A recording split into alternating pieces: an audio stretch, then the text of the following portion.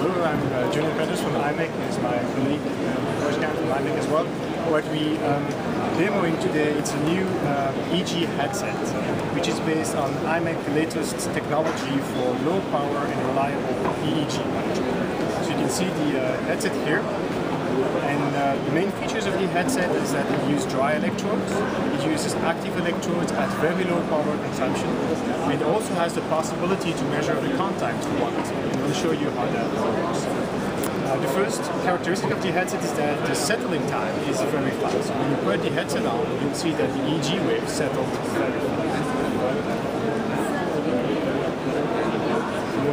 Organ is uh, the headset, and what you can see here on the screen is already his EEG waves. Uh, we're measuring four channels of EEG at the moment, which are four different um, signals showing his brain activity at different places on this screen. So you see here the brain activity. Of course, the brain activity is difficult to uh, interpret, but um, if we ask uh, to close his eyes, he will relax, and we can then detect the uh, wave corresponding to uh, relaxation. If you look here around 10 hertz, you will see little bumps. You see it here, also here. You can see very nicely on the wave also. This is a 10 hertz uh, wave, which corresponds to relaxation, and that we can detect with the, with the system.